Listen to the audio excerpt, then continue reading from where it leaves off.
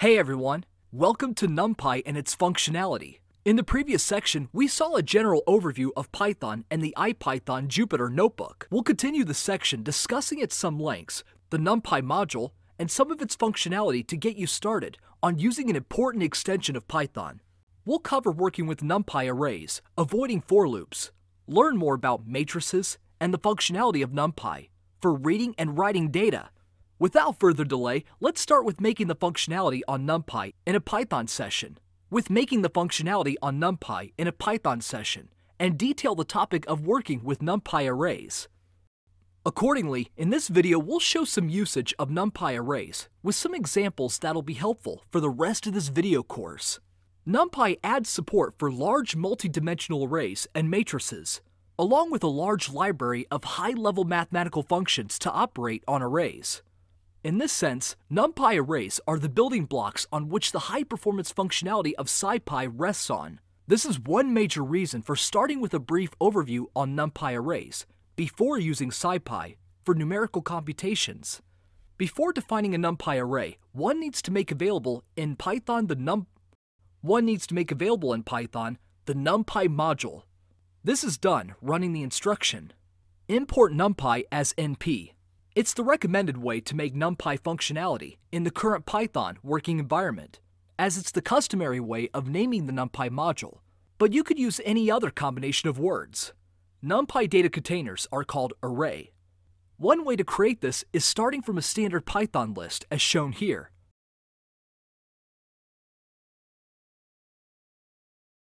An X list with 5 elements and a Y list with 8 elements, both one-dimensional. We could check these Python list objects by applying the Python function type and print the respective output. Now to make a NumPy array from any of the lists above, we apply to the array NumPy method or function. Notice that such a function is preceded by the characters NP, indicating that array is a method of the NumPy module. Recall that NP was used as a synonym of NumPy when it was imported into the Python session. Again, use type to check that the variables in this example, x, x, and y, y, are NumPy arrays, as shown in the respective output.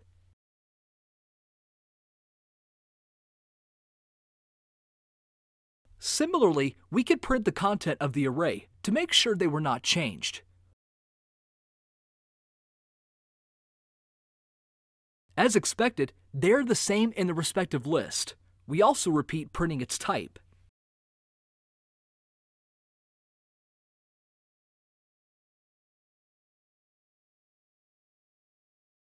Another way to create a NumPy array is by typing its value directly. As you can see, this requires typing a Python list surrounded or bracketed by nparray. We then check that the object stored in the variable xxx is of type array. As you might expect, NumPy provides functions or methods to inquire about the object stored. Some common ones are the shape, size, dimensionality, and the type of the elements or objects in the array.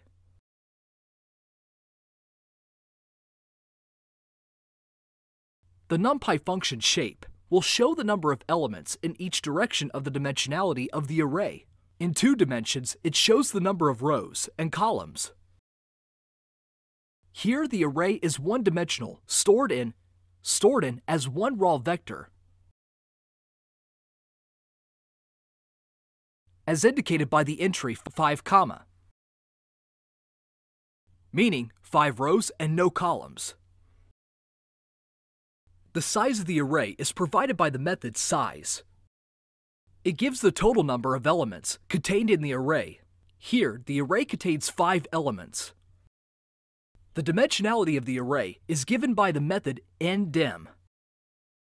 In our example, it outputs the number 1 indicating that we're dealing with a one-dimensional array. To a NumPy array, we can also apply the Python intrinsic we can also apply the Python intrinsic function, len. For one-dimensional arrays, len and size gives the same output, number of elements in the array. For other dimensions, they give different output, as we'll see shortly. the type of objects in the array are obtained via the method dtype. In this example, they're of type float64, meaning 64-bit objects. There are other ways to make NumPy arrays of heterogeneous objects, but covering it is beyond this course. NumPy provides a great amount of methods to operate very efficiently, and many, if not all, support parallel computations. In this vein, we'll consider the functionality for reshaping an array. As shown in this example, we can make a two-dimensional array operating with the method reshape on a one-dimensional array. In addition to this, the method reshape takes an argument consistent of a tuple with the shape of the object we want to obtain after applying it. Here, we're reshaping the one-dimensional YY array in a two-dimensional array, having the number in n files as rows and the number in n columns as columns. Both are passed to the reshape method as the tuple n files, comma n columns, after the YY array and separated by comma. One needs to keep in mind that the product n files, n files, and columns must be equal to the number of elements in the array being reshaped.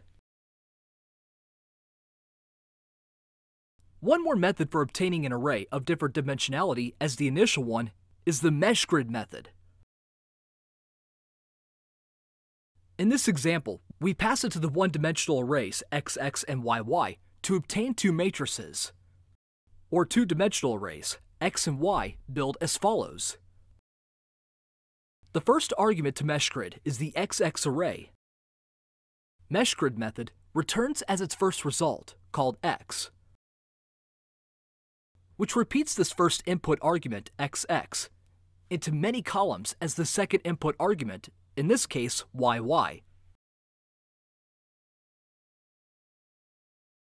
As a second result, the meshgrid method returns an array called y, consisting of the second input argument transposed to a column y's vector.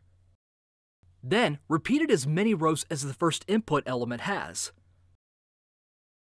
One should mention that the meshgrid method transforms its operating arguments as one-dimensional arrays before operating on them. As an application of the NumPy methods previously studied, we can operate with them on any one of these matrices. We choose the Y matrix to inquire about its shape, size, dimensionality, len, and the type of its element.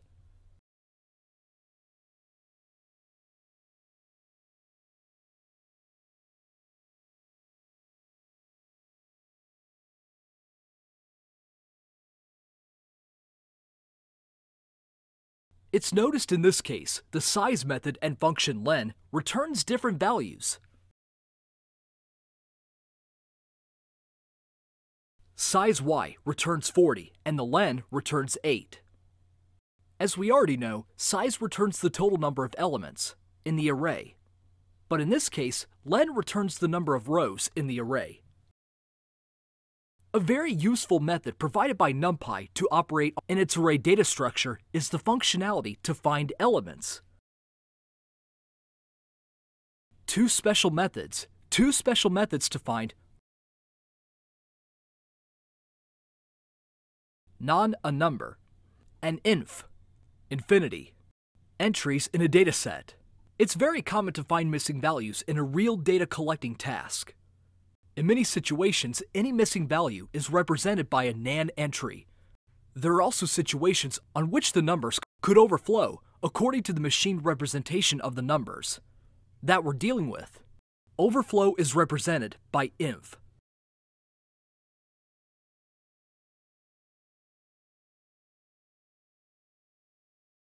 NumPy provides the methods isNaN and isinf for finding such NaN and inf entries to an array in an array. To show how both methods work, we'll replace two entries from the matrix Y, the entries Y, 1, 3.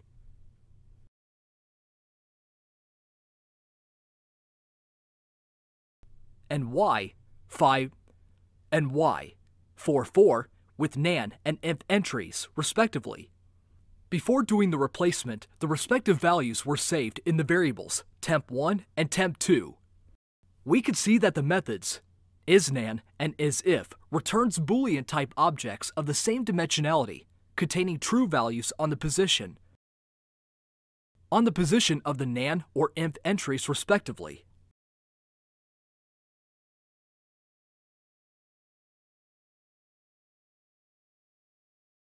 NumPy provides the where method, which is helpful to find indices, determining the position of a value in an array. In an array. Next, we replace those nan and inf entries by the numerical values previously saved in the temp1 and temp2 variables. Getting back to the initial, getting back the initial Y matrix.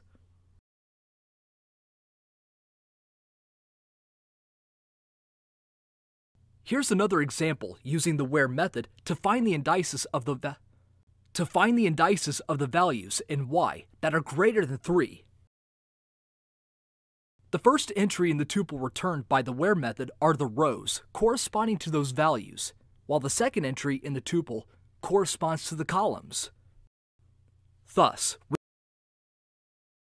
we compare 4 and 0, 4 and 1, and so on, as corresponding to positions of values greater than 3 in the Y array. In the y array.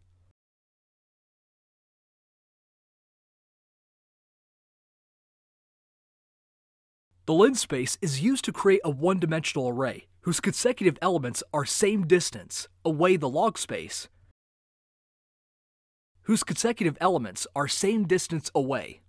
The log space methods make separation logarithmical it's up to the user to tell both methods how this division is going to take place.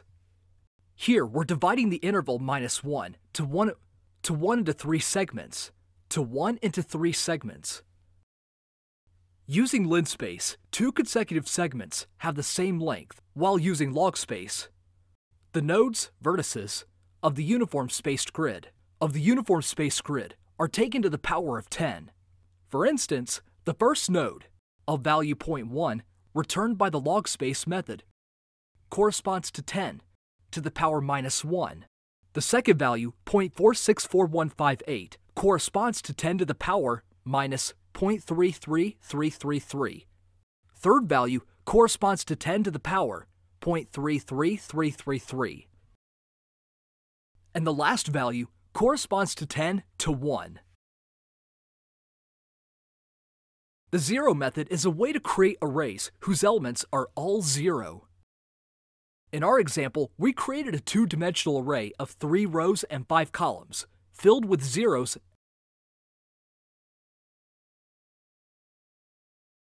filled with zeros of type float.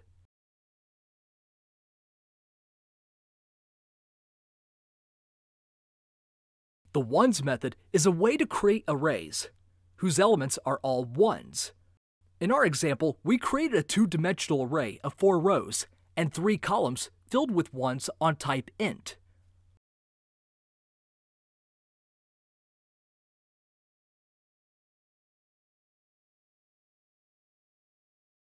The identity method is a way to create a two-dimensional square array whose main diagonal is filled with ones, while the rest of the elements are zero.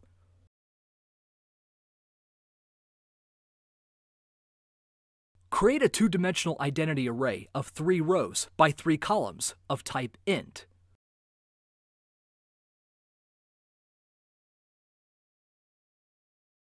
The eye method is a way to create two-dimensional arrays, not necessarily square ones, whose main diagonal, by default, is filled with ones, while the rest of the, while the, rest of the elements are zero. Clearly, the identity method is a special case of the eye method.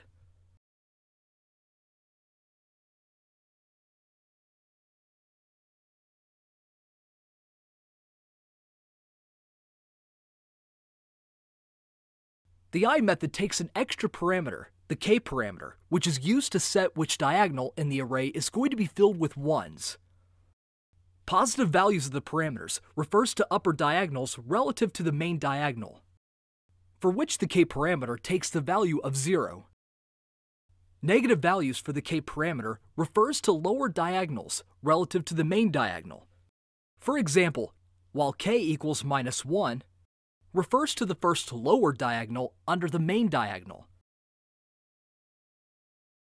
Via matrix operations, we could get other forms of matrices combining these ones. Here's an example of having a matrix with its first upper and lower diagonal, filled with ones. Other elements are zero. The other example is a bit more complicated, involving adding and multiplication of matrix operations. Those operations will be explored a bit further in the next videos. The NumPy module provides much more methods to work efficiently with arrays. You can explore them in the following references. One of them is Chapter 2 of our book, Learning SciPy for Numerical and Scientific Computing, 2nd edition, published by Packt in 2015. You can browse the codes for this video in the companion Jupyter Notebook of this video lecture. You could browse the codes for this video in the companion Jupyter Notebook of this video lecture, which you can find at the companion website of this video course, or by going to this address, an additional reference is the NumPy tutorial, found at this link. All the additional references are listed here. Take some time to go through them. In this video, we explored the creation and basic manipulation of NumPy arrays. The video lecture roughly follows the same structure as the official NumPy reference, which can be accessed at docs.scipy.org. There are other good sources that cover NumPy with rigor, and any other material for a more detailed coverage of this topic.